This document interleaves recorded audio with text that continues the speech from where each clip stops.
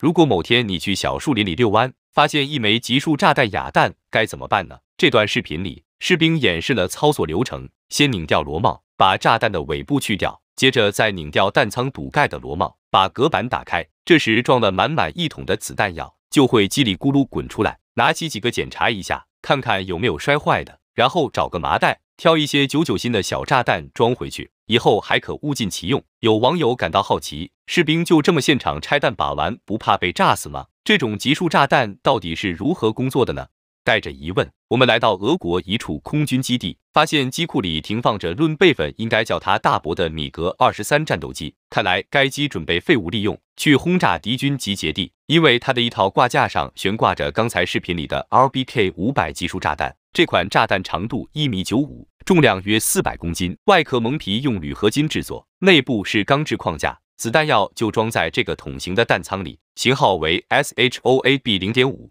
这款弹丸的表面有四条气动凸棱，弹体直径是六点四厘米，重量约四百二十克，装药八十五克。弹仓里一共塞了五百六十五枚这种小炸弹，弹仓中间还穿过一根带有爆炸螺栓的细杆，可通过炸弹头锥里的定时引信引爆。经初步研究发现，这个粗笨的炸弹还颇有几分灵气，想必在空中炸开来会更加妙趣横生。为此，我们催促战斗机尽快起飞，表演投弹。说话间，炸弹就被扔出。只见他一边缓缓低头沿弹道下落，一边在倒数计时。达到设定时间后，头锥里的引信就启动了爆炸螺栓，瞬间连接炸弹尾巴的细杆被炸断，同时高压燃气充满了整个弹仓。于是弹仓和尾部被燃气推开分离，这一桶子小炸弹就全部给倒了出来。这些子弹药一边继续沿惯性轨道下落，一边随燃气膨胀而扩散开来。即将形成上万平方米的杀伤区域，看来时间所剩不多，我们还是赶紧找其中一枚仔细观察。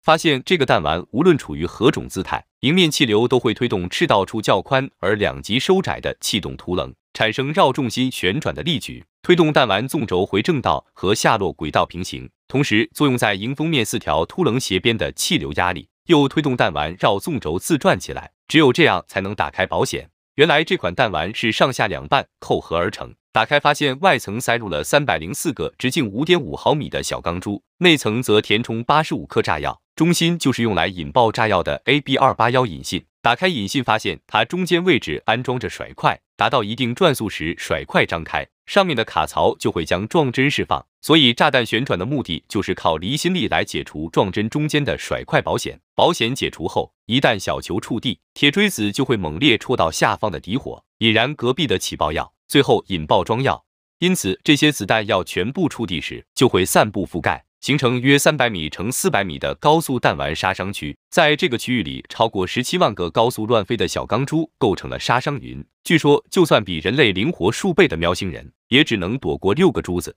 当然，如果遇到的是视频里这种哑弹，那么里面的弹丸并没有被气流推动旋转，因此理论上说，甩块都卡在撞针上，并不能激发，所以可以拿来把玩。但是如果不凑巧拿起的这个正好是引信甩块已被摔得转轴松脱弹簧掉落，那么再摔一次它就可能激发爆炸。所以有经验的工兵也是小心翼翼。可见徒手玩炸弹虽然看似危险，其实一点也不安全。